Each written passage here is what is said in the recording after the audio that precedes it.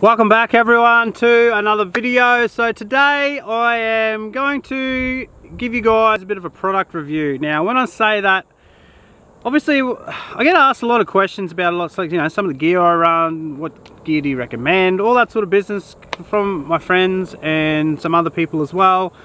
So I just want to start doing some product reviews. Now, a lot of these products I have used over the year and I've used, I've used them pretty well. So I can fair say that um, I have got a good idea of some good quality products to get you what you want out of whatever you need, I guess, like your car, your boat, your, your camera gear that you want to use.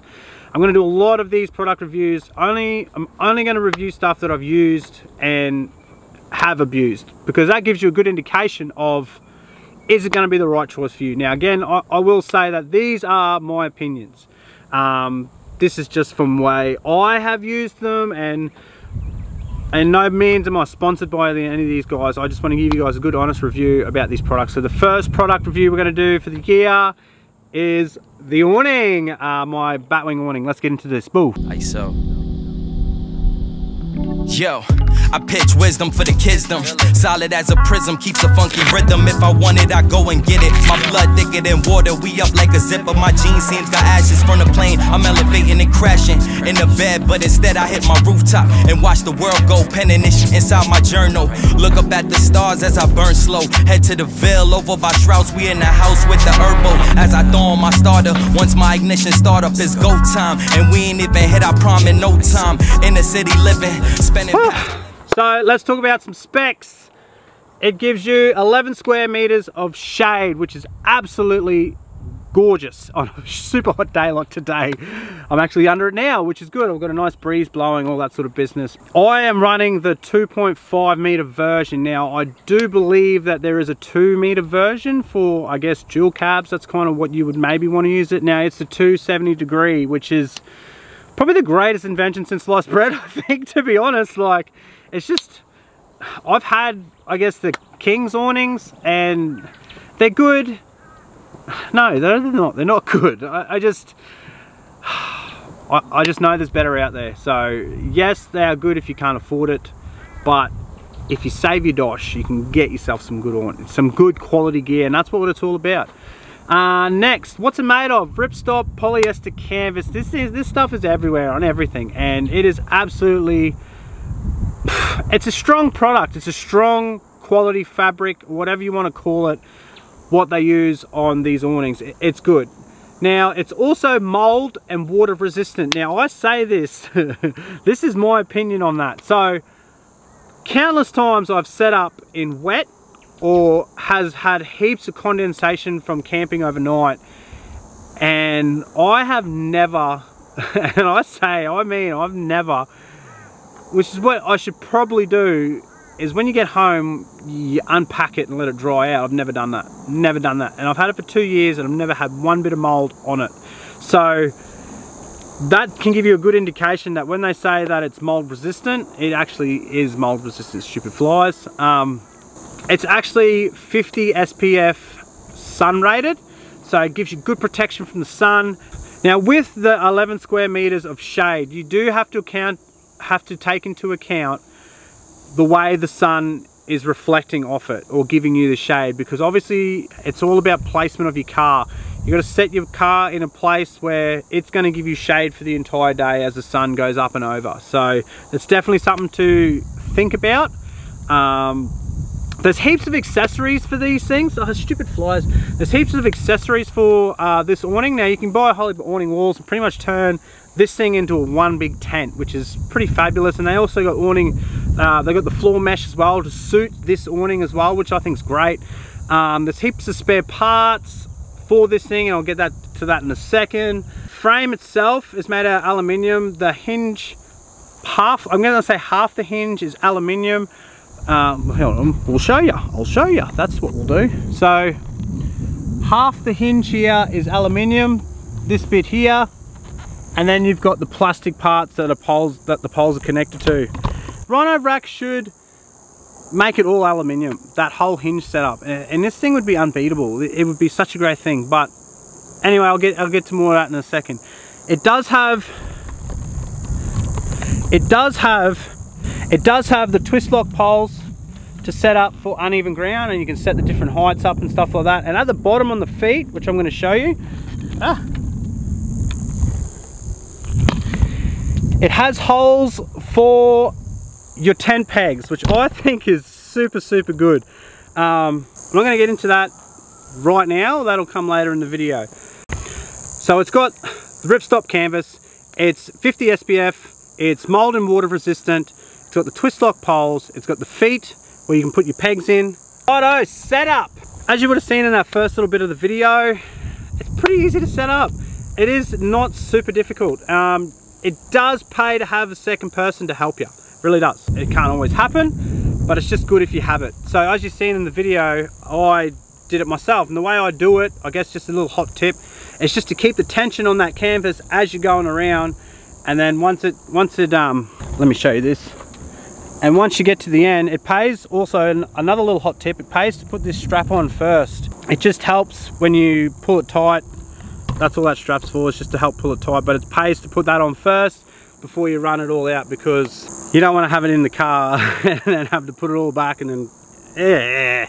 But other than that, setup's pretty easy. Uh, there's not much to really go over. It's setting up an awning. If you don't know how to set up an awning, well, you've probably got bigger dramas going on in your life. um, so let's talk about some of let's talk about some of my experiences with this thing. So I've got two bad experiences. Well, it's actually two mixed into one.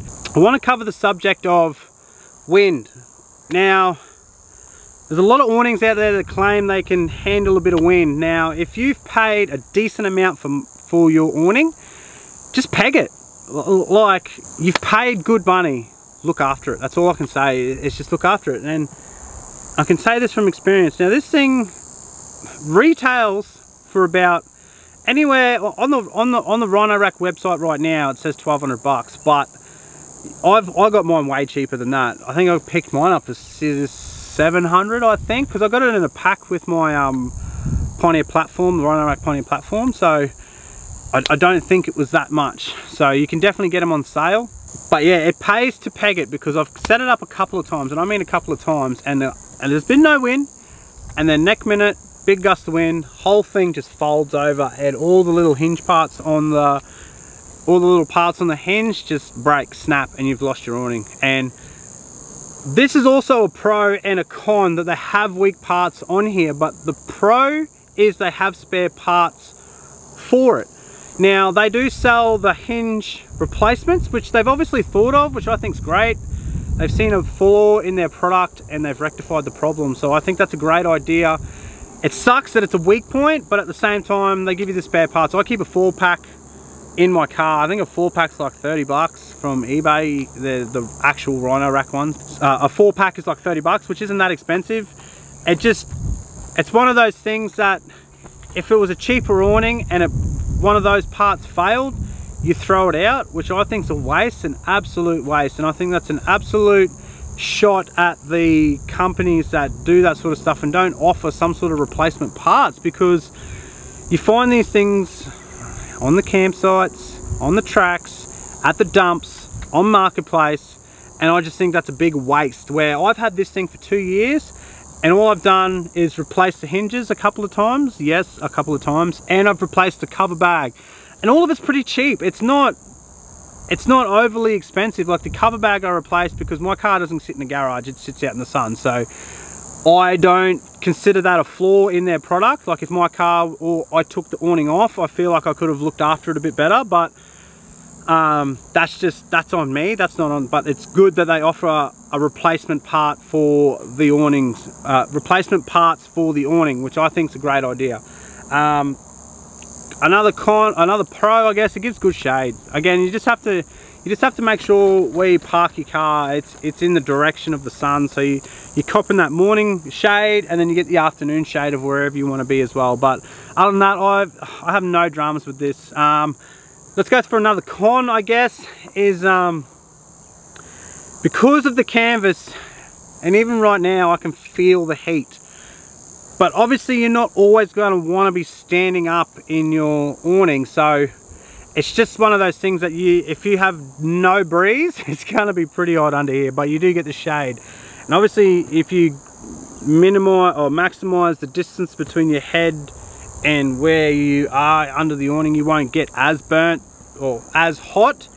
Um, so yeah it's just just something to think about I guess of where you want to set up and how much cooler you're actually going to be alright guys that's the end of the episode make sure you like and subscribe I'm going to bring out uh, every fortnight definitely going to bring out some more product reviews to opposite of the actual vlogs that I'm doing just to give you guys a bit of uh, some help in choosing the right gear for what you want to do so I just want to give you guys some food for thought. It's just always, when you go to buy something, look for quality.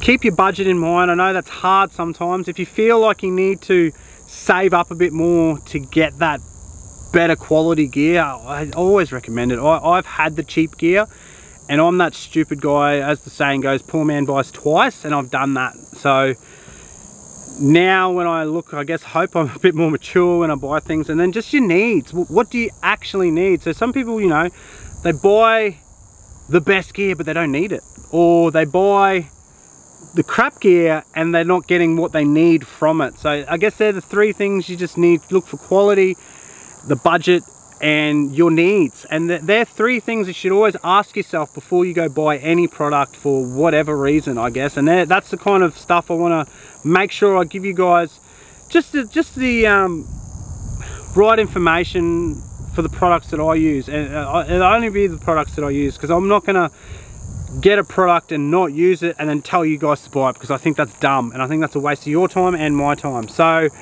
anyway, like and subscribe hit that notification bell, follow me on Instagram, follow me on Facebook, subscribe to the channel. Peace!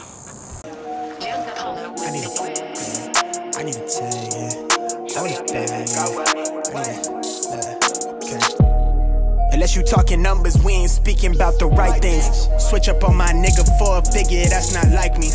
Baddie with a body in the lobby, she like nice things. She used to know me then, she like me now.